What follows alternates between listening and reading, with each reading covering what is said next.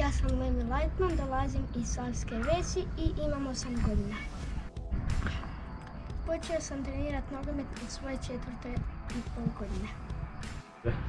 Trenirao sam u Slogi, pa sam onda otišao u Lumene, pa onda su me zv- zvali u Dinamu selekciju i sad, i, i sad igram za Međimurje.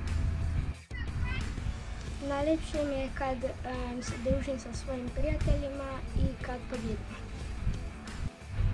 Treniram kod kuće, sa mamom idem se voziti sa biciklom i trčim, pa onda kak je ovo bilo, em, s tatom taj kever napravim i još napravim neki trening i moj ujko Veca isto igra nogomet za slogu, sa njim malo radim sklekove trbušnjake.